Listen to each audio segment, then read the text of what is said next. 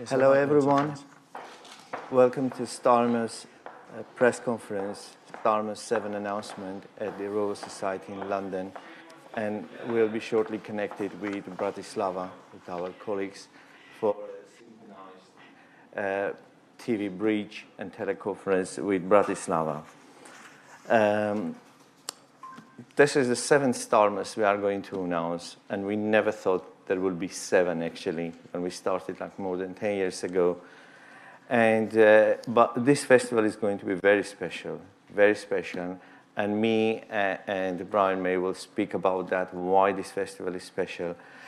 And uh, uh, there will be uh, some brainstorming about the topic of the festival, why we choose this title and why it is important, and why today, why today.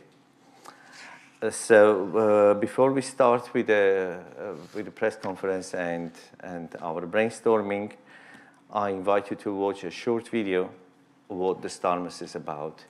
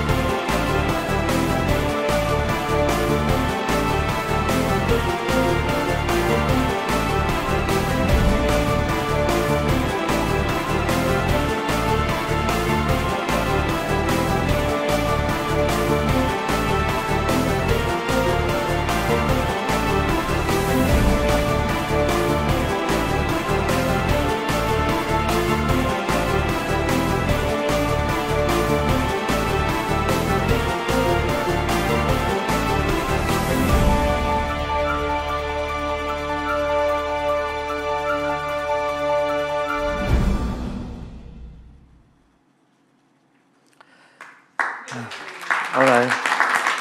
So the next festival is going to take place in Slovakia, Bratislava, from May 12 to 17, and it's called Earth, the future of our home planet. Uh, let's make sure that we hear our guests in Slovakia. Hello, Slovakia. Hello, London. Hey, Garik. Hello. Uh, we hear you, but we can't see you. Where are you? It's a Danube. Right. I can see, yes. You see us? Hey there. Hi. So we have Tony Fadell, Emmanuelle Charpentier, and Richard Marko. But I will start introducing our guests now. Okay, so today for, for, for the press conference and for brainstorming, we have our guests. First of all, I want to introduce Dr. Jane Goodall, who is going to join Starmus Advisory Board. We are extremely honored, happy. We have no words. Uh, Dr. Uh, Jane Goodall, DB ethologist, founder of the Jane Goodall Institute and United Nations Messenger of Peace. She will be on Zoom. And we have Sir Brian May, CB, the musician, singer, songwriter, and doctor in astrophysics, founder of Save Me Animal Welfare Organization. And we pulled this festival with Brian so many years ago. We did a lot of brainstorming that we have to design something to bring arts and science together. It was a long journey, very long journey, but at the end we are here 20 years afterwards. so mm, I'm happy that Brian is here with us. And um, we have uh, Tony Fadell, is an iPod inventor, iPhone co-inventor, Nest founder, and Build Collective principal, a member of Starmus Advisory Board.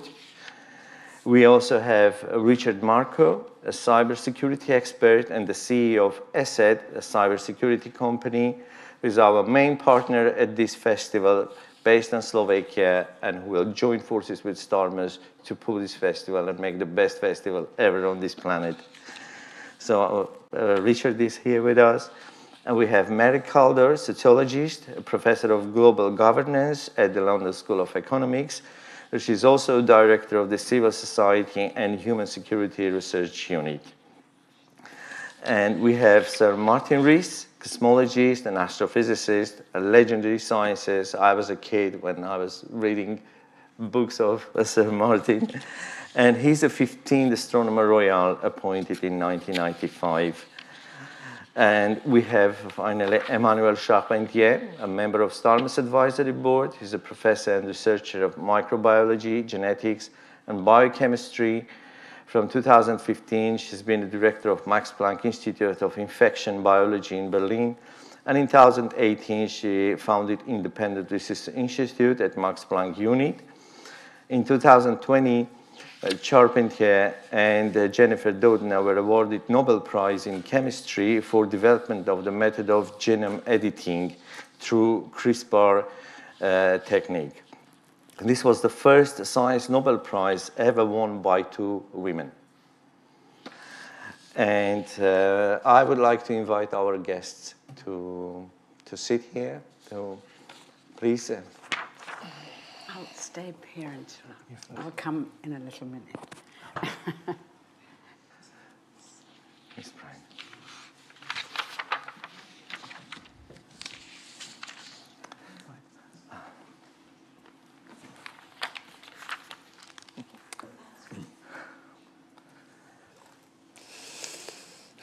Okay. So first, uh, I would like to ask Brian his view on what's going on. Why are we here? What is happening today with STARMUS? Where are we heading to? Okay, uh, morning, ladies and gentlemen. Show you my pretty picture first, which is the lenticular version of our logo, which is still under development, and we're designing various musical things to happen with it as well, which is a lot of fun. Of course, STARMUS is, has always been about science and music and the arts. And we are here, as Garik has said, to announce the seventh STARMUS Festival, which will take place from the 12th to the 17th of May 2024 in Bratislava, Slovakia. Maybe I can just remind you the, the reason for the existence of STARMUS is its core belief that the boundary between artistic thinking and scientific thinking is false. We believe that art and science are a continuum, and the thought process, processes of each, when combined with an open mind, can provide the most powerful insights into questions that resist solutions. It was actually about 15 years ago that um, Garik and I sat down with this crazy idea that we could actually bring art and science together in an environment where ideas could develop uh, in, in a different way from the normal way. And um, since that time, uh, STARMUS has blossomed. We are now at number seven. Previous STARMUSs have always concentrated on looking out into the cosmos for the joy of it, really, and also for the edification of everybody there. Um, this particular STARMUS, STARMUS 7, we've called STARMUS Earth because we were very conscious that um, everyone is more aware that the biosphere of planet Earth is under threat. So now, instead of looking outwards into the cosmos, STARMUS 7 looks back into Earth. It focuses on the problems which Earth faces. Um, we've seen conferences between political representatives of countries looking for solutions, but of course, inevitably, whether they come up with strategies or not, they're influenced by political motives and the selfish interests of the countries they represent. There's also an issue with following through. STARMUS, this STARMUS, will be, to our knowledge, the very first attempt to bring together scientists and artists of all countries to try to find answers in a completely unbiased way. Answers to the questions about the planet's future that we know we now need to ask. We're hoping that by inviting some of the world's most free thinking and brilliant brains to offer their individual thoughts, we will have a good chance of coming up by the end of the conference with a set of strategies which could save all the creatures which inhabit Earth. All the lecturers will be invited to speak on topics which relate to questions such as are the current gloomy predictions for the results of our present behavior true or not? And is the cosmic clock running into the last seconds of the existence of life on Earth? And if so, is it already too late to make the necessary changes in our behaviors? Or are there effective strategies which can be implemented to reverse the trend? What are the attributes of life on Earth that are most worthy of saving? Should we be fighting the trends or accepting that we are in the middle of an in inevitable evolutionary stage in the life of any planet? These are all questions to ask. We hope to clearly identify the greatest threats to life on Earth there is now at last a growing awareness that global warming is a present danger. But in reality, we see this as only the tip of the iceberg. We face so many potential threats, mostly man made. Perhaps the end of our civilization will be brought about by a nuclear bomb, or by hunger, or by pollution, by loss of habitat, by artificial intelligence, or pandemic or simply human overpopulation, or perhaps an asteroid strike or a cataclysmic eruption of the Earth's magma. Maybe dangers which we don't yet perceive. So, by identifying the most destructive scenarios, perhaps we will conclude that we need to reorganize our priorities for mounting defenses against them. Perhaps, for instance, a non political consortium such as we are putting together, could find ways to make policies on a global basis rather than addressing the needs of individual countries. I should probably mention no politicians are at present invited to speak at Starmus Earth. As well as disaster proofing, in Bratislava, we can look at, in a positive way, at how we can best enable life on Earth to flourish and prove that as a species, perhaps we are worthy to embark on the colonization of the neighborhood in space. That's really it. We hope that this will be something very special, and we hope that out of it will come a new and clearer view of what we're facing and if planet Earth indeed does have a future. Thank you.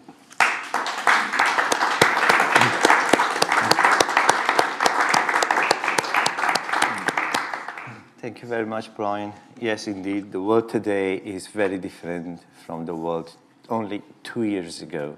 So in two years, we've seen pandemic, war in Ukraine, exponential rise of AI, and much tighter limits on climate change and environment. So when we talk about changing world, it's really happening. And we see this only in two years.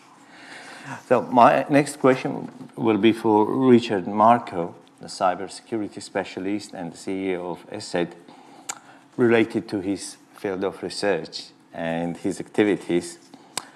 So, Richard, we often see that cyber attacks create havoc in companies and governments, and hear that possible they could trigger a new war. Today, some scientists warn that AI threats are potentially more dangerous What's your opinion as a cybersecurity expert? Could AI control and provide computer security? And could I ask my future chat GPT 10 or 15 to take care of the security of my computer, my credit cards, my personal data? Perhaps I may not even need an antivirus software as AI will choose one for me. And AI will have some internal routines and algorithms which will learn from minutes of hacker attacks history. And I will simply say my AI software, hey, protect me. And it will be done. Do you think that's possible? This is the future. Right. I, I, think this is a brilliant question because it actually touches different fields. And to give a proper answer, we would probably need to take into account uh, expertise from different technology fields. And for that, I believe Starmus Festival is a perfect place. a place where uh, brightest minds come together, have time to talk to each other and ask these kind of questions. Uh, we at ESET, uh, we believe in science, we believe in research, in technology, that it can really help to move the society, the, the humanity forward. And so we are so happy to be a main partner of this festival. Now, the field of cybersecurity is very dynamic field. It's probably one of the most interesting fields in IT overall together probably with uh, artificial intelligence and that makes the question even more relevant. Uh, for sure, the techniques, uh, uh, the artificial intelligence was important tool in cybersecurity for uh, maybe even two decades, because this field was always about dealing with big data, um, finding some irregularities in, in the data and behavior. And so uh, it, it, this is very important. Now, is the AI can, of course, be used uh, on the other side as well uh, to cre create more advanced attacks. But we need to realize that in cybersecurity, we are not fighting some natural disasters. We are fighting malicious activity of human beings. So there is a human intelligence there already present. And uh, the artificial intelligence can bring uh, bigger speed, uh, some more variations into that. Maybe what we consider the biggest threats right now, so-called um, advanced persistent threats, which are crafted for individual companies or, or even individuals. These kind of attacks are now targeted against uh, really important people, important companies, but with, with the help of AI, this this might become a norm and this kind of targeted attacks might be just happen, happening to anyone. Uh, and from this perspective, this, this, is a new challenge. And I think uh, only research and really dedication to the, to the best, to the best development, to the best techniques uh, will be the answer to keep the things in balance. Thank you very much, Richard. Thank you we can ask you questions afterwards once we finish the panel. So my next question is for Emmanuelle Charpentier. And um, uh, I don't want to ask questions about ethical aspects of genetic engineering because I think that so many discussions about this. But my question will be, uh, Emmanuelle, in your opinion, which problem is the most important and urgent that genetic engineering will try to solve in the near future? It can be one or even two. what do you think is going to be solved by genetic engineering? The most urgent. the most urgent, uh, the most urgent. Uh, actually, it's really to treat uh, human diseases. Uh, at least this is my opinion, and this was the first application that I had in mind. It was to use the technology to, to treat certain uh, genetic disorders. And actually, remarkably, after 10 years, uh, you know, we could decipher uh, a mechanism existing in bacteria that uh, has been harnessed into this very powerful genetic engineering te technology. So even eight years after we could already see the technology being used to treat patients with uh, blood disorders such as uh, sickle cell anemia and beta thalassemia by combining the gene editing technology with cell therapy. So patients are now cured with this technology. And there will be soon, hopefully, an FDA uh, approval for a cure on the market and to be able to treat more patients with uh, those diseases. Uh, we have also um, very great examples of proof of principles of using the technology to cure patients with certain types of leukemia, with using the, gene editing technology in the context of cancer immunotherapy. So you have also patients being treated. And uh, so you have great developments to be foreseen in the in the future. and more diseases to be to be cured. So this is really happening, and this is really exciting, and uh, and this is what uh, you know patients would like, I guess, to to see being developed further. And you have a second application that is important. My opinion is really using the technology to produce plant crops that can be, uh, you know, used to in a way uh, resist uh, the future uh, changes of, of climate. Uh, we will be facing uh, a lot of changes in the climate, specifically in countries like Africa, and there is really a need to develop plant crops that can cope with all the challenges of, of the changes of the climate, and, and the technology is really being used as well for genetic engineering and, and the, for the production of very safe, uh, safe plant crops. So it's really safe genetic engineering, clean, uh, clean technologies. Very promising, very interesting. And we will have more discussions on this topic at STARMUS, certainly led by Emmanuelle Charpentier. So now I would like to ask uh, Martin Rees uh, for your opinion about the future of our planet as a cosmologist and as a futurist, as a, as, a, as Martin Rees. yes. Well, thank you very much, Garik, for inviting me, and I hugely look forward to Starmus 7 next year. Um, let me give a cosmic perspective because astronomers tend to think on these big scales. Um, our Earth has been around for 45 million centuries. But this present century is special. It's the first in all those 45 million when one species, namely the human species, has the future of the planet in its hands. And as we've heard already from Brian, we are facing huge dangers of how we could uh, destroy our planet or set back human life. And also we have to worry about uh, not just human life, but the marvelous biosphere of which we're a part, and keeping that alive and preserving it. And I'd like to quote the great ecologist E.O. Wilson, who says, if our actions lead to mass extinction, it's the sin that future generations will least forgive us for. It will be an irreversible loss. So we have huge responsibilities.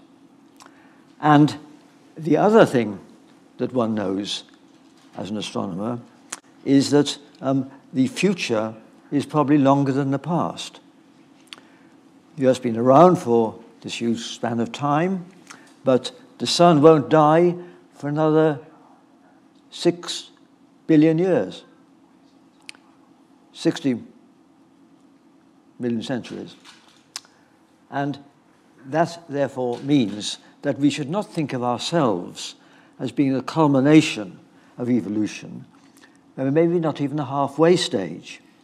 And therefore, if we snuff things out now, we destroy not just what's on the planet at the moment, but we may foreclose huge potentialities on Earth and far beyond.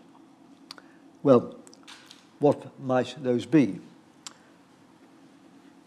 We think about whether uh, humans are going to move out into space. Certainly, with the advent of AI, uh, we are going to be able to send uh, um, sophisticated probes to study all the bodies in our solar system. We're going to be able to assemble in space uh, large solar energy collectors and other bodies of that kind. Um, will humans follow? Well, I'm ambivalent about this because um, although humans in space are a great adventure, robots can now much more cheaply and reliably do all the things that humans can do, assembling structures in space, exploring the surface of Mars, etc.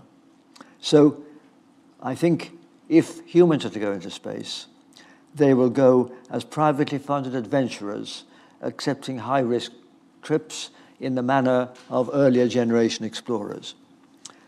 We've met at earlier STARMUS meetings, uh, the uh, Apollo astronauts who took very high risks, but subsequently, NASA has become very risk averse in launching people into space. The uh, shuttle failed twice in 135 launches, less than 2% failure rate, but even that was regarded as rather high by American taxpayers. So my view is that for humans to be sent into space by a body like NASA or ESA would be hugely expensive, and so it should be left to the billionaires who can launch the kind of people happy to accept high risks. But what about the far future? Um, of course, um, uh, humans are not the culmination of evolution, and the key question is the extent to which um, uh, flesh and blood entities will become post-humans, or whether the post-human era will be dominated by AI. And uh, uh, again, this is a fascinating topic, which I guess will be discussed. It affects the future of the, um, uh, of the life on Earth. Um, but uh, uh, what we don't know is whether at some stage the um, uh, flesh and blood intelligences like ours will be surpassed by something electronic. I think that what may happen is that uh, humans will survive on this planet for quite a long time because we're well adapted. Whereas if we attempt to send communities to other worlds, like trying to live on Mars or further away, then they'd be very ill adapted. And they will have to adapt seriously and become a post human species. And at that stage, they may prefer to be electronic. And if they're electronic, then they may not want to be on a planet at all. Uh, they uh, may prefer zero G, and they may be near immortal. So post humans may make interstellar voyages, not humans. And of course, my final point, which is a scientific question that I hope will be answered this century, is is the galaxy awaiting our post human progeny, or is there lots of life out there already? Uh, this is the question which, as an astronomer, I'm most often asked, and it is indeed one of the most fascinating questions. And uh, uh, a new perspective on this issue has arisen in the last uh, two or three decades in two ways. First, um, we have understood a bit more about the origin of life. We still don't know how life began. We don't know the transition between complex chemistry and the first metabolizing, reproducing entities we call alive. We understand Darwinian evolution after that, but we don't know whether it was a rare fluke or whether it would have happened in other places. And what we've learnt in the last decade or two is that um, many other stars are surrounded by retinues of planets, just as the sun is surrounded by the Earth and the other familiar planets. And there are probably in our Milky Way galaxy many millions, maybe even billions, of planets like the young Earth, about the size of the Earth and orbiting a stable star, so there's a temperature where water can exist. And of course, the key question is will some of them have evolved life, even intelligent life? And uh, there are serious efforts to try and address those questions using big telescopes of various kinds. And uh, I, in fact, chair the committee funded by Yuri Milner in California to look for evidence for intelligent life in space and a lot of other projects looking for any kind of vegetation on any of these planets. So this is a, going to be exciting development. And that will tell us um, whether a disaster to the human race is a terrestrial disaster or natural cosmic disaster, which will foreclose the option of the uh, entire universe being greened by human descendants. Thank you very much, Martin. Thank you.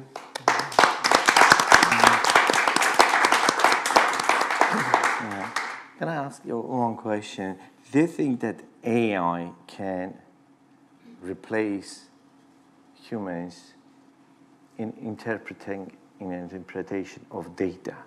So um, we are doing astronomical observations. Yes. Maybe AI can give better explanation of what we are observing than us. Yes. Well, already we depend on it because, for instance, the European Space Agency telescope uh, Gaia provided data on two billion stars. their colors and their motions, etc. That has only been analyzed because of the possibility of AI to look for uh, correlations between the speeds and the and that. Um, so certainly uh, that's true. And of course, we depend on uh, um, our computers to do um, simulations because we can't um, do experiments in space. We can't uh, crash stars together in, uh, or crash galaxies together. But in the virtual world of our computer, we can do this sort of thing, making different assumptions. And the reason we have learned a great deal about how stars evolve and how galaxies evolve and how our cosmos has emerged from its hot, dense beginnings is because we can do simulations with enough power to get results that we can take seriously. So I, I think um, it's crucially important that we have um, AI. And of course, there may be some concept which is just too hard for the human brain to understand. Uh, you may have heard about string theory, which is uh, uh, the most popular idea to unify gravity and the force of the micro world. Um, and uh, uh, we need a theory of this kind to understand the very, very beginning of our universe. And this involves um, uh, geometry in 10 dimensions. It involves the idea that empty space, which you think of as three-dimensional, if you magnify a point in our empty space, then it's actually a tightly wound origami in five extra dimensions. Very, very complicated geometry. And it could be this geometry is too hard for any human being to work through his lifetime and check whether the theory is right. And so I think we may, um, by analogy with um, um, uh, the, DeepMind computers playing, playing Go and doing protein folding, we may have to um, find a computer and feed in the properties of some geometry and let it crunch away. And it will then be able to um, uh, perhaps um, uh, see if it can uh, predict from this theory uh, what the um, mass of the electron or the strength of gravity would be. And if it predicts the right answer, then we know there's something in that theory. But of course, the frustration is we'll never get the sort of aha insight, which you get if you uh, uh, if you've got a theory and it seems obvious in retrospect. We never have that view, but we would know that the uh, uh, version of string theory that we were using uh, would have um, predicted some things correctly, and therefore we can perhaps trust whether it predicts something about the Big Bang, and in particular, one of my interests is whether it predicts that there was not just one Big Bang, but many, whether we were in a multiverse, not just the universe. Uh, so that's an exciting scientific topic. Yeah. Thank you very much. Very interesting. Uh, we hope to, to hear from Jane Goodall. Can we check if uh, Jane is... I hear you. Hello? I hear you. Hello? yes. well, welcome to Starmus. Thank you. Uh, uh, Jane, we are extremely, extremely honored and happy that you joined our advisory board and you are here today with us uh, to announce Starmus 7 Festival about Earth, about environment, about the future of our planet. So uh, why it is important to protect wildlife in a world dominated by humans? We dominate the world. Well, I think what's really important. You hear me? Yes. Okay. I think it's really important for us to understand that we are part of the natural world. And it's very tragic that humans are becoming increasingly divorced from nature. We know now that being in nature is good for our psychological and physical well being. And when I say we're part of the natural world, we also depend on it. We depend on it for food, for water, for air, for everything. But what we depend on is healthy ecosystems. And an ecosystem is made up of a complex mix of plant and animal species, each one with a role to play, no matter how small. And I see it as like a beautiful living tapestry. And every time a species disappears from that particular ecosystem, it's like pulling a thread from the tapestry. And if we pull enough threads from the tapestry, then it will hang in tatters and the ecosystem will collapse. And the tragedy is that all around the world, ecosystems are collapsing, those very ecosystems on which we depend. You know, I spent years out in the rainforest studying chimpanzees, uh, our closest living relatives. And the main thing that makes us different from chimps and other animals is the explosive development of our intellect. But unfortunately, while we can uh, move into these scientific, technological spheres of AI and space exploration and so on, we have lost wisdom for the here and now, the wisdom that makes decisions thinking about future generations, our children and their children. And this to me is a great tragedy because I believe that to attain our true human potential, head and heart must work together. I see our human race right now, and this is a poetical fancy, but I see us as at the mouth of a very long and very dark tunnel. And right at the end of that tunnel is a little star shining. And that star is hope. But it's no good sitting at the mouth of the tunnel and hoping the star will soon shine on us. No, we have to roll up our sleeves. We have to climb over, crawl under, work our way around all the obstacles that lie between us and the star. And those obstacles largely are interrelated climate change, loss of biodiversity, uh, pollution, poverty, because people in poverty will destroy the environment in order to survive, unsustainable lifestyles, uh, the use of chemicals and pesticides in agriculture that is not only devastating for biodiversity, but also killing the very soil on which we depend. And it's harming our own health. Obviously, if you spray poison on your food, it's bound to lead to some of the many, many diseases that are increasing in frequency and many people believe are due to all these chemicals used in industrial agriculture. And another thing the chimpanzees taught me is that we humans are not, as I was told in Cambridge in 1962. I was told that the difference between humans and animals was an unbridgeable chasm, that only personality, mind, and emotion existed in us. They were unique to us. And I shouldn't have attributed these characteristics to chimpanzees. But gradually, as more and more was known about the biological similarities, the um, particularly the DNA of chimps and humans differs in structure by only just over 1%. And then all the other similarities kissing, embracing, holding hands, um, even sadly, violence and a kind of primitive warfare and killing each other.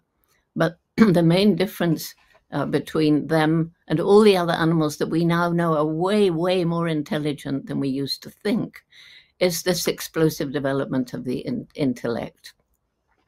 And so, how strange that the most intellectual being that's ever walked the planet, presumably, uh, is destroying its only home. And I, I believe there's a window of time.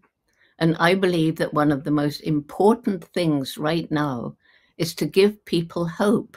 Because if we lose hope, we fall into apathy and do nothing. And then we definitely are doomed. And in particular, our young people.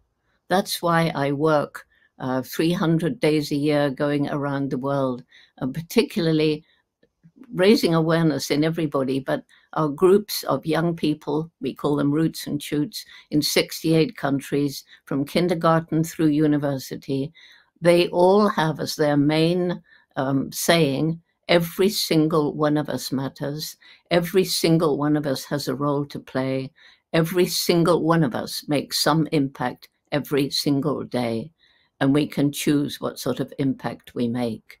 And because I learned in the rainforest how everything is interconnected, each group chooses projects, one to help people, one to help animals, one to help the environment. And something that's very important that comes out of this, and I say it's important, there's already been mention of the war in Ukraine and the conflict between Israelis and Palestinians, Indians and Pakistanis, the conflicts in Sudan, which have broken out again in Mali and other places too, and the social unrest. Very often it's due to the fact that we tend to um, separate the different aspects of humanity.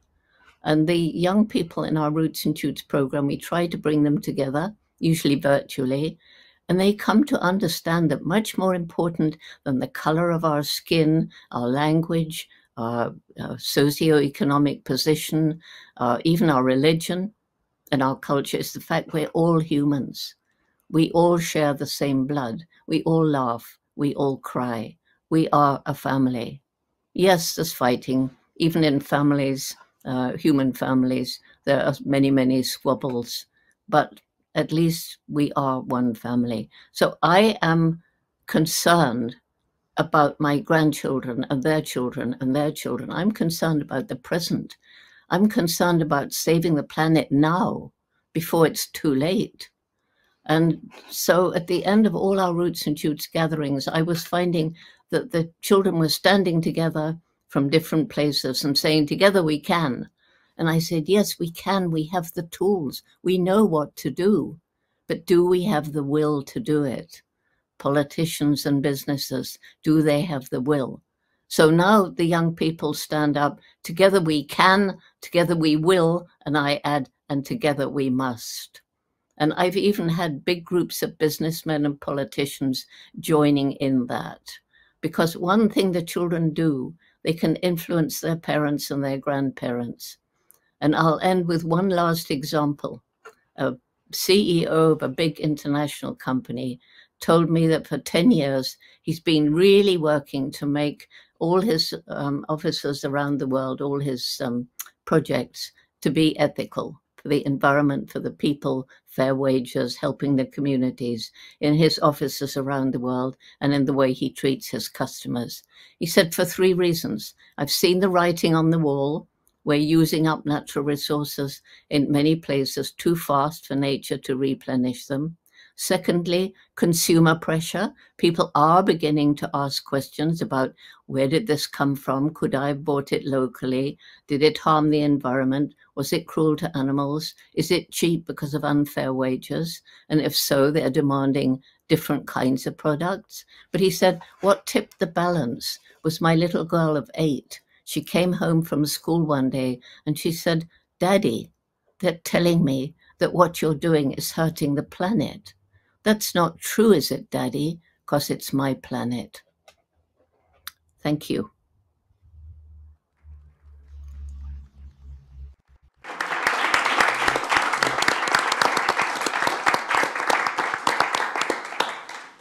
Thank you very much, Jane. We are very much looking forward to see you at Starmus in Slovakia. Thank you. Okay, so my next question will go for uh, Tony Fadell about artificial intelligence. Uh, can we see Tony? Uh,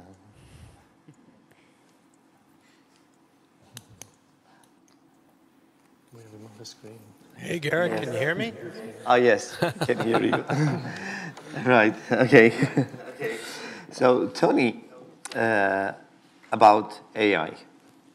Everyone is talking about AI taking over the world. People in media talk about unemployment rate and that our lives will be controlled by AI. And what about the banking and financial system?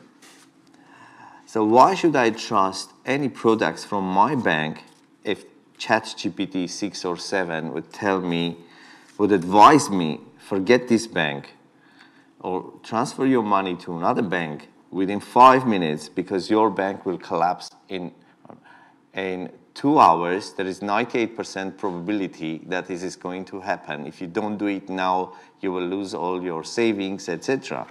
So this may happen. This may happen because they will become our main advisors. AI is becoming our advisor. So they will be analyzing all data from all uh, everywhere in the world, and they will be advising me what to do with my bank within next 24 hours, right, with my savings. And even worse, what's going to happen with the stock market? Because if AI comes there, they're going to advise buy or sell. So basically, all the risks will be taken by AI. So, and if there is no risk, there is no market economy. So who is going to take those risks in market economy? We or AI? All right, Garik. That's a question uh, that I will. I'm not going to completely answer, but first, I want to thank everyone for coming here today and listening to about the announcement of Starmus 7. It's really wonderful to be up here on stage here in Bratislava, as well as with uh, our esteemed uh, other panelists uh, in London. Um, it's a unique festival, and I'm honored to be a part of it um, because the the the cities that actually host Starmus, it's Starmus is such a special festival of a coming together of incredible minds that it takes incredible and so unique that it takes incredible minds, incredible people to want to have Starmus in their town. So to be here in Bratislava is really great. Now to get back to your question, uh, Garik, the first thing we can say is we just saw a meltdown of the financial markets just weeks ago with Silicon Valley Bank, with First Republic, with Credit Suisse. Those were driven by humans literally on social networks. There were a run on the banks, and there was no AI involved. So this, today, we can already still take down financial systems with the tools that we have, and no AI is required. So it's humans, not necessarily computers or the technologies that we have, that actually create a lot of these situations. So let me back up. Let's talk about AI. The first thing is let's talk about technology. What I've always witnessed is that whenever humans create a new technology, we co evolve with those technologies. Whether it was the fire, the wheel, whether it was penicillin, all of these different technologies that we create we can choose to co evolve with peacefully or not peacefully. Technology is neutral. So, we have seen this time and again where we've, we've created destructive technologies. Unfortunately, in the US, there's way too many guns. That's a technology as well. We can let it go out of control, or we can choose to control it properly. So, AI is another technology. Now, given that, we're all hearing about AI. We're hearing about AI incredible in every almost everyone's talking about it. It's around the world. Well, guess what? AI has been coming for a long time, and it has been here for almost a decade in practical uses. You may not have seen it, you may have not felt it, but AI has been below the surface, working on things, improving things, and has been, has been helping. In fact, my company Nest that I created you know, well, I don't know, 12 years ago. We had AI inside of it. We just didn't call it artificial intelligence. We, call, we called it something else because people were going, we worried that people were going to get worried about it. There has been AI helping out behind the scenes when you do a go, Google search for years. There's been AI inside of Photoshop and Adobe tools. These things have been all behind the scenes already working on, I, I know multiple companies that I've invested in, AI has been around for years. Okay? What we've seen different in the last five months is that a personality has been put on it, a way to talk to it. Okay? Now we can say, hey, uh, what about this? And it comes back with personality. Like it'll tell you, it'll give you a, a, a answer to a question in Shakespearean prose. We also talk about AI taking over the world in terms of it being one thing, like one AI takes over. There are so many different AIs already out there in all kinds of different forms, all kinds of different uh, large language models, as you'll hear, LLMs, and in all kinds of other forms. They're already out there. They already have personalities. There's already different religious chatbots that you can talk to for different religions, and they can espouse as being a prophet uh, to you about that religion. You can do the same thing in finance today. You can also do it for virtual mates, girlfriends, boyfriends, what have you. Those are already existing. We are not going to have one AI that takes over. There's going to be AIs simply that reflect us. You can make an AI of yourself. There are people making AIs of yourself, and I've even considered making an AI of myself, given all of my podcasts, all of the interviews, all of my texts, all the things that are in. You can make an AI of yourself. You can make a, not a digital, yeah, a digital twin, maybe not a complete digital twin. So we're not going to have just one AI. AI is a technology we can choose to co-evolve with. People have chosen before there were computers and before in companies as well uh, and governments, we can choose to co-evolve with those. We see companies who didn't evolve, you know, take up digital technology. They are laggards. The ones that embrace those things are now leaders. It's the same thing going to happen with AI. That said, there are incredible things that can be done with AI, I have seen done, that are positive for our species, positive for humans on Earth, and we can use these tools for good. The downside of these tools are not for me, is not that AI is going to take over. It's humans using these tools against humans. That's the issue. We're not going to see these ultra intelligent beings if we allow them to go away from us and allow them to get a through from us. Maybe that's in the future. But right now, we don't need to worry about AIs taking over being fully autonomous from humans. What we have to worry about is humans using AIs to create things to program humans in a new way to do their bidding. Okay? The worst artificial intelligence I find in the world is when people are reprogrammed. Reprogrammed. We saw it in social networks with elections. We see it all the time with different genocides using social networks. We just saw it with the financial system. When we use these tools against humans, humans using these tools against humans, that's where the, the issue is. Yes, we have to worry about the threat of AIs and multiple AIs even going to war. And humans aren't even involved. AIs can actually war with each other if, they, if we choose to set it up that way. What we need to do right now is we need to worry about regulation. We need to worry about the data sets. Let's talk about the data sets of AI. So today in large language models, what they are let me give you an analogy. An analogy specifically is we all, most of us, yeah, who has kids in here? How many people have kids in here? Okay.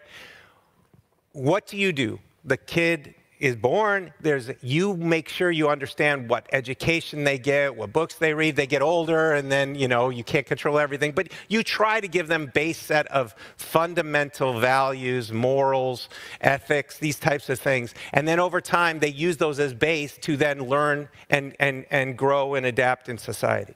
With these models that we're seeing that we have human kind of interfaces with, what we do is we give them the entirety of the internet a lot of these data sources they have are have bad things in them. We would never go and give the entirety of information to our kids and just say, don't do this, don't do that, don't do this. That's exactly how these AIs work today. We give them an entirety of all this information and then we tell them what not to do. Please don't do that. And we think we know all of the things that things are going to happen. There are so many things that we can't imagine, and we're trying to subtractively take out of these models. We need to look at better data sets, more robust data sets. We need to have firewalls around things to really understand what we're training these, these, these, these AI agents with and then ultimately who's using them and how they're being used. And we need to have regulations and things around that. So again, we can co evolve with the technologies. AI has been here for some time, it has been beneficial. AI is being used by humans against humans. That's what we have to be worried about. That's what we need to work on now. And we need to make sure that these models are trained on data sets that we understand. And understand, just like, as I said, there's different personalities. We know who we trust in the in the in in our world who we can talk to and we believe in a trusted person that we we get feedback from we're going to have trusted and untrusted ais as well because it's going to be built on those data sets or what they're trained on and the value systems that are built into them so Garik, that was a long way of answering your question. There is a lot of promise. There is a lot of peril with AI, but we can't stick our heads in the ground and just believe AI is going to take over. It's for us to control and us to co-evolve with. Thank you. Thank you very much, Tony. Uh, so finally, I want to ask uh, Mary Kaldor, who is a sociologist, and um, what do you think about the future? What's the future of this society, a society which is constantly under threats of well, war and everything? well, I suppose my main concern uh, which is interlinked with all the other issues that we've heard, is that we face a world of continuing violence, or we may even face the threat of extinction through violence. And I think um, it's important to notice that military technology has evolved to such a point that it's actually impossible for anyone to gain a decisive military advantage. So it's really impossible to win nowadays. You can use a cheap drone um, with mobile phone technology or an improvised explosive device using fertilizers or detergents and destroy the most advanced weapon systems. And although there's an, always an endless offensive defensive competition in cybersecurity to try to anticipate, it's almost impossible. So that's the lesson, actually, we should have learnt at the end of the Second World War. We should have learnt it from Korea, we should have learnt it from Vietnam, we should have learnt it from Iraq, we should have learnt it from Afghanistan, and now we're learning it from Ukraine. And the risk is either that such wars escalate, to, and we face a very real risk, in my view, of the use of nuclear weapons, and that leads to human extinction, or they disintegrate into a kind of long term chaos. And that's what we're seeing for in increasingly large parts of the world. We see it in the Congo, uh, we see it in Syria. Um, we see it in Yemen. We see it in Afghanistan. Uh, and now it's just beginning in Sudan, or actually it had already begun, but it's really alarming. And what happens in these situations is these various armed groups are not trying to win. In fact, battles are rather rare. They're using violence for other purposes. They're using violence for economic purposes, for smuggling, for setting up checkpoints, for looting, uh, for kidnapping. And they're using it to generate the kind of we them ideologies that Jane Goodall was talking about that keeps the violence going. And I think if we think about Ukraine, in a way, I think that's exactly what Putin wants. It's his way of destroying democracy. And my fear is that as a consequence of Ukraine, we'll see this kind of violence in Ukraine and in Russia. And at that point, is it really, you know, what you end up with is a situation where a few rich warlords provide their protected enclaves and are quite happy to live in a context of chaos. But in that situation, we can't do any of the things we need to do to deal with climate change, to protect our species. It's like, you know, strands of Jane Goodall's tapestry being pulled out all the time. So that is my big concern, which I bring to the table of all the other concerns. And the question is, is there any way out of that? You know, war is prohibited under the UN Charter, um, except if it's approved by the Security Council, which is now dominated by Russia, China, or in self defense. Um, And I think we just have to take the UN Charter seriously. We have to reform the UN Security Council, but we also have to, we really need an effective system of global governance that finally goes beyond war and takes human beings more seriously. I think Brian's suggestion of a non political consortium, world consortium, is a really important suggestion what we find uh, in all our, I work on these wars, in all these cases, that you find amazing human beings who are helping their neighbors, who provide emergency responses in situations, who try to mediate, who try to keep schools and hospitals going, and they get very little support. I feel they're the opportunity for making peace, and if we could build a non political consortium that involves all these kinds of people in very difficult places, maybe we could do something to help a lot of people are now talking about how we need to think about human security rather than military security, and human security is about all of these existential threats. Uh, and that's the direction we need to go in.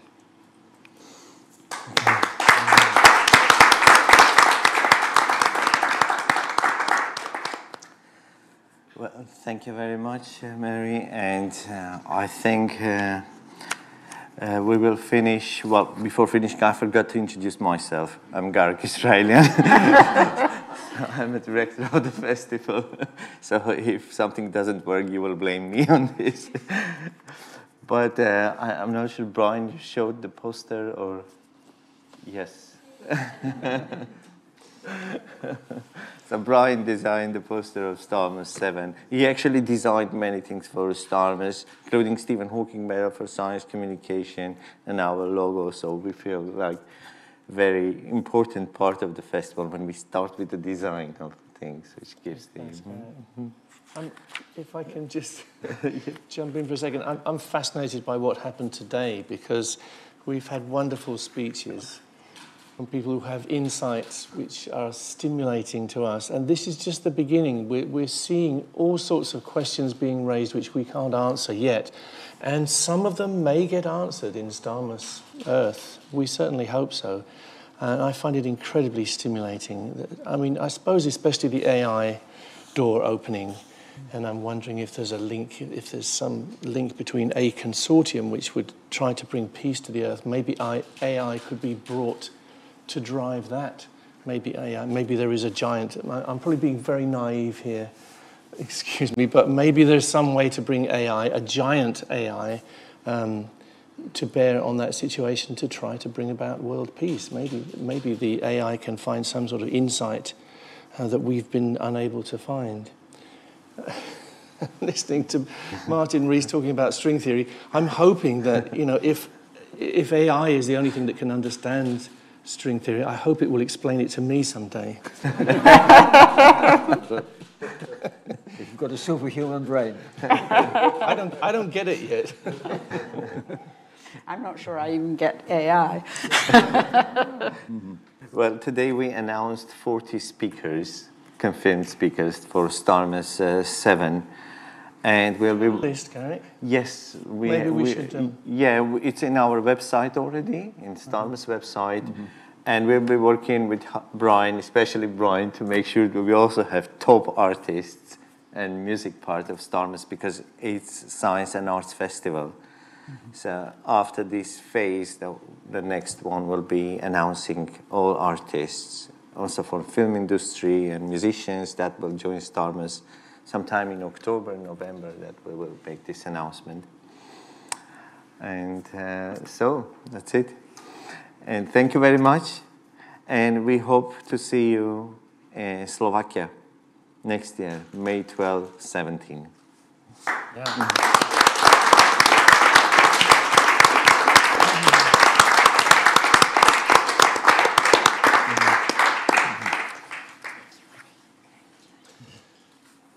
Yes, now questions, if you have questions from... I'm so embarrassed about my daughters. For our speakers? This is life, isn't it?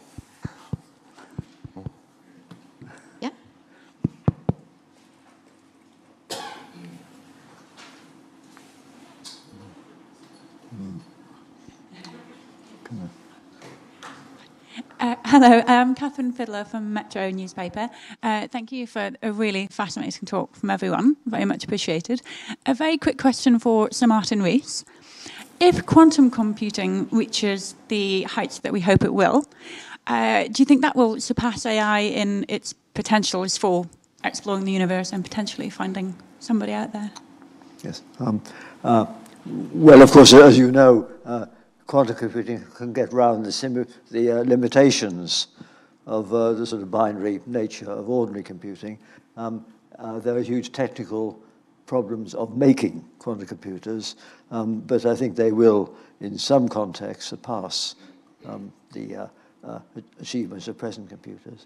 Um, if, if I can um, uh, make a response to, to Mary, um, I worry about leaving too many decisions to AI because um, if there are some hidden bugs in the system, then is anyone going to be clever enough to find them? Um, you know, and if there are breakdowns, uh, then I think this is a worry. It's already a worry, I think, in the way AI is used for um, um, selecting job applicants, deciding whether you need surgery and things of that kind. Um, but uh, if we depend globally on some AI um, then even if on the whole it looks reliable, I really worry that if it's got some flaws, they may be so deeply hidden that it would never be possible to uh, save them. But I didn't say anything about it. Mm. Were you reacting to somebody else? Sorry? mm. Yes, oh, no, no, sorry if it's Brian, wasn't oh, it? sorry. yeah, yeah, yes, yes about the about the mega machine taking over. Yeah. Yeah. yeah. I, I don't know if anyone's asked this question, but are we looking at another kind of Copenhagen? Is it a question of who gets the ultimate power through AI and, and quantum uh, computing? Uh, is it the good guys or the bad guys? Are we looking at that kind of situation ever? Are, are you hiding this from us? yeah. I mean, that's what Tony. Yeah, well, Tony? yeah, well, when it comes to AI, um, actually, very interestingly, um, there has been a, uh, you know, we see that the large language models and the large companies with hundreds of millions of dollars being able to create these these AIs. But at the same time, we've already seen open source versions of these LLMs in just literally three to four months be able to near the same kind of uh, results that you're seeing from the largest companies. So you can actually uh, see where um, you know, uh, groups of humans can work together to create an AI that is open for lots of people to use. The issue is, is when do these, could nefarious actors use them against us? So it's not just large companies groups of individuals without huge resources can actually create their own AIs and they can use them for good or bad so or, or governments for that matter. So we have it's this is an unleashed an incredible power and it can go all the way to single actors using the, building and using this technology. But let's just flip it to the other side. Martin is right. If we choose to give up the capabilities over to AI, it can now start to really make decisions for us, almost a kind of eugenics um, for our population if we choose to move to move to allowing AI to make decisions for us. But then, as another counterpoint to this, we have something called Wikipedia. Wikipedia isn't perfect, but it's managed by a whole team of people around the world, making sure the data sets of Wikipedia are more or less accurate. What happens if we were able to create data sets just like Wikipedia with teams of people around the world looking at these data sets and using them to train AIs on top of, and we know where they come from. So there's lots of different modalities, different ways of creating the AIs. You don't have to just be large actors with lots of money. we can also use we can band together as as societies and create things. We already have examples analogs of that. So i have no answers but absolutely there are mul- multiple ways that these things can be created and multiple ways they can be used. And we need to seriously look at all of those implications. And i hope at starmus we're going to be talking about a lot of those yeah maybe maybe one thing uh, which because this AI is obviously like the biggest topic right now, but maybe the thing to realize is that apart from Tony already said that there are many different AIs being used for a long time in different places, and now the Chat GPT is just is just coming with a form that is available to anybody basically to use. Is that uh, some of these most famous forms of uh, AI are developed by by really big tech companies uh, with a lot of resources. It's not a typical academy world. It, the rules, the incentives are not exactly the same. So we need to take into account that, for example, Chat GPT is not really open thing. We don't know exactly all the details, how it works, what was the data set that was used to train it. And it didn't go through all the scrutiny, so we, so we don't know whether it just looks great and beautiful uh, and it's over-promising, or it's really something that is bringing the discussion or capabilities of artificial intelligence to the next level. This remains to be seen. Absolutely. And what I'd love to see is, you know, why don't we take all the data sets of the STARMUS presenta- uh, presenters, uh, all of our advisors, all the previous STARMUS presenters, and create an AI with all of their uh, incredible, thing, uh, incredible works, and then see what ask those questions. I would love to see a, a, digital representation of Martin and Brian together and ask them questions and see where that goes. Uh, you know, uh, but uh, seriously, we can actually think about data sets with the world's Nobel Prize winners and put that together and make an incredibly smart AI that we understand the data that goes into it, as opposed to all the nefarious and ugly things from the internet that get programmed into a lot of the LLMs that are, are out there today because we just haven't done the we haven't done the data set modeling the proper way. So I think we can have incredible intelligence if we choose uh, the right people to hear from and put into these models to learn from. Because AI, at the end of the day, yeah. just reflects us. It reflects our humanity, good and bad. So let's choose the good, let's choose the best, and use that to help us move forward, not the, not the evil parts. Tony, I've got to ask the last question, if I may. Um, how long do we have the choice, though? Surely AI an AI, an AI machine can eventually get clever enough to choose its own data sets. It can circumvent what we give it. It, it has access to anything it wants because it's cleverer than us, right? So, mm-hmm. so when do we lose the reins? When, when are we no longer holding those, those controls?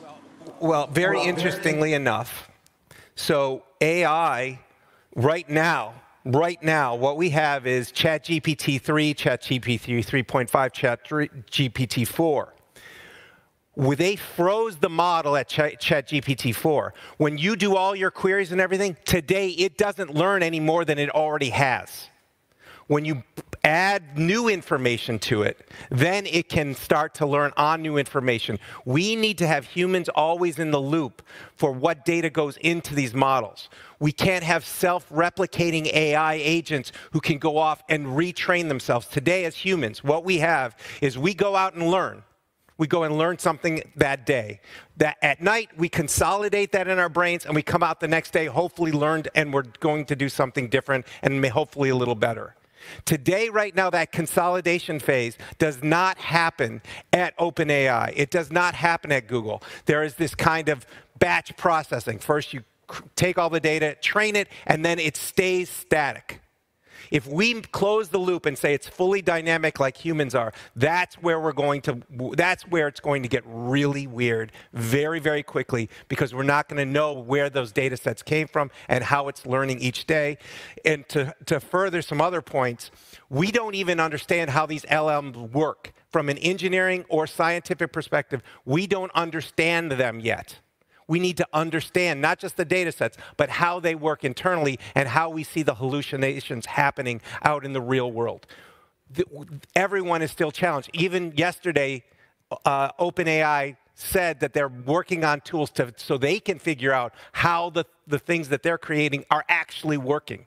And when a neuron is not working, uh, a digital neuron isn't working properly, or when it is working and why it's working properly. We're all trying to learn about this right now. But what we can't let is it getting away where it's self replicating and self consolidating with new data all the time. Right now, we can have a static set and we can start to analyze and really understand and empirically test and figure out what's going on before we start any of these other things where it self evolves. Yeah, maybe, maybe one, one point, uh, just uh, the, because now we talk about AI, we talk about technologies, computers, and so on. The uh, uh, artificial neural networks are very different from, from biological neural networks. We, there is some inspiration, uh, there is some similarity, but the complexity of a single neuron, natural neuron, is, is probably several orders of magnitude different compared to, to the artificial one. Now, it, does this make a difference? We don't know. Maybe, maybe it's not necessary to have this complexity in a single neuron, but I, I, think it's fair to say it might be the, the thing that makes the difference and that we will get to the limit of what the raw computational power is able to do with the current models and current really way these uh, artificial networks are working. Mm, okay. We Thank could you. have this conversation all day. and more questions you have? No? Okay, then we will finish with this maybe. Well, thank you very much. Thank you, Bratislava.